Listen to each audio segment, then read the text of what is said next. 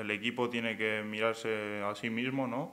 Realizar, realizar su juego. Está claro que el, Tenerife viene en una dinámica muy positiva. Viene a ganar en el campo el Valladolid 0-2 y, y haciendo un buen juego y sabemos que va a ser un partido muy difícil, pero yo creo que haciendo nuestro juego tenemos muchas opciones de llevarnos el partido. Bueno, pues es verdad que la derrota contra el Alcorcón fue un poco dolorosa, ¿no? Porque veníamos de hacer un buen partido contra Las Palmas y, y bueno, el, corregimos ya los errores durante la semana y ya simplemente estamos centrados ya en el partido de, de este sábado, del domingo, perdona, y, y, y, tenemos muchas ganas y el partido del Alcorcón está olvidado, hemos corregido los errores y vamos con todo al Heliodoro, ¿no? Sí, como han ido comentando mis compañeros y el míster, pues, pues la cara negativa puede ser a veces errores en salida a balón, ¿no? que, nos, que nos perjudican.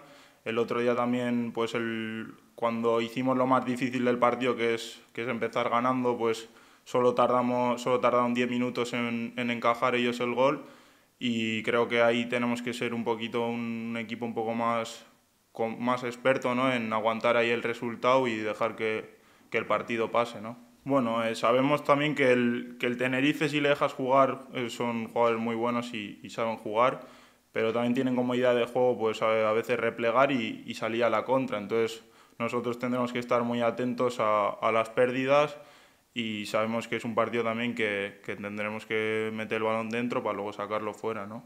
Bueno, pues el cambio es grande, se nota que el, el, ritmo, ¿no? El ritmo del juego es mucho más alto. A nivel personal, bueno, estoy contento porque estoy teniendo los minutos, como tú comentas, y, y mi objetivo es seguir aportando mi granito de arena al equipo y seguir pudiendo ayudar al equipo en todo, en todo lo que pueda, ¿no?